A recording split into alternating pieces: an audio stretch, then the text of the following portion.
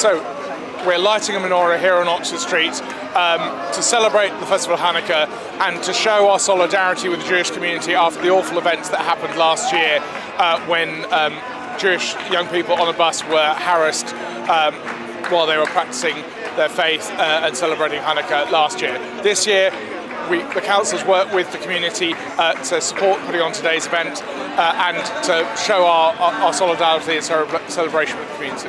It's hugely important. There is absolutely no place for anti-Semitism in our society, and it's important that, that everyone comes together uh, to support events like this uh, to make sure that people can celebrate uh, Hanukkah wherever they are in, in this country. It's a positive defiance in the sense that we're going to go on with our with with doing what we do to bring light and positivity. We're going to go on with that, and we're not going to be deterred by those who are trying. It's a very few people. It's a, it was a handful of people, and that they're not going to set their agenda. We're going to continue with positivity and light.